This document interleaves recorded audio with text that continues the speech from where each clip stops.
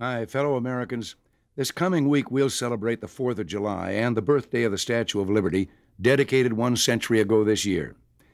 Nancy and I will be in New York Harbor for the event, watching fireworks light the sky over the grand old lady who welcomed so many millions of immigrants to our shores. But I've often thought that Lady Liberty also represents another symbol of our openness to the rest of the world. With the ships plying the waters of New York Harbor beneath her, she reminds us of the enormous extent of our trade with other nations of the world. Now, I know that if I were to ask most of you how you like to spend your Saturdays in the summertime, sitting down for a nice long discussion of international trade wouldn't be at the top of the list. but believe me, none of us can or should be bored with this issue. Our nation's economic health, your well being, and that of your families really is at stake. That's because international trade is one of those issues that politicians find an unending source of temptation. Like a five cent cigar or a chicken in every pot, demanding high tariffs or import restrictions is a familiar bit of flim flammery in American politics.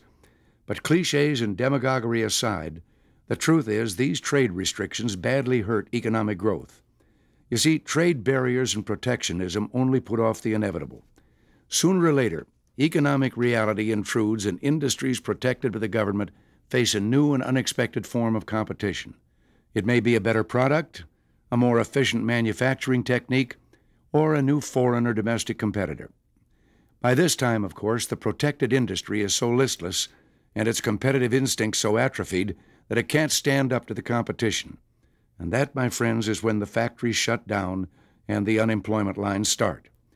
We had an excellent example of this in our own history during the Great Depression. Most of you are too young to remember this, but not long after the stock market crash of 1929, the Congress passed something called the Smoot-Hawley Tariff.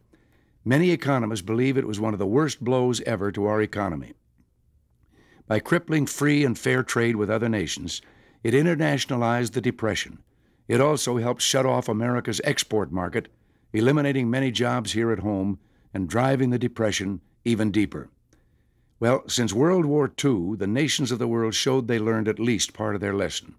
They organized the General Agreement on Tariffs and Trade, or GATT, to promote free trade. It hasn't all been easy going, however. Sometimes foreign governments adopt unfair tariffs or quotas and subsidize their own industries or take other actions that give firms an unfair competitive edge over our own businesses.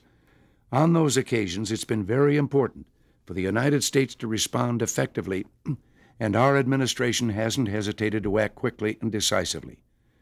And in September, with more GATT talks coming up once again, it's going to be very important for the United States to make clear our commitment that unfair foreign competition cannot be allowed to put American workers and businesses at an unfair disadvantage.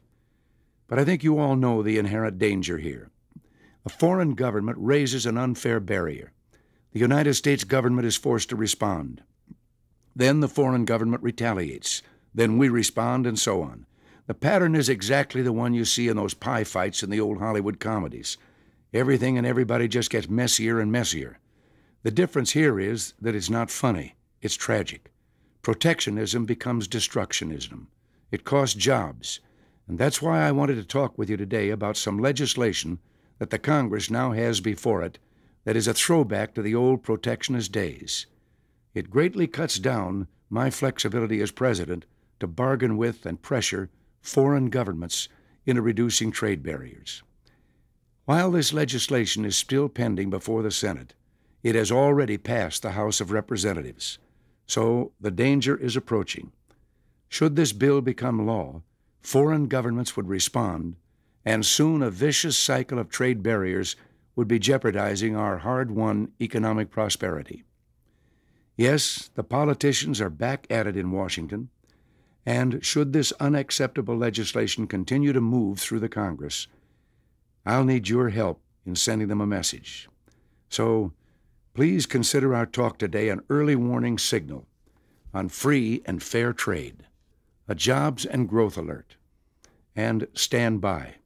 I may need your help in resisting protectionist barriers that would hinder economic growth and cost America jobs. Until next week, thanks for listening. God bless you.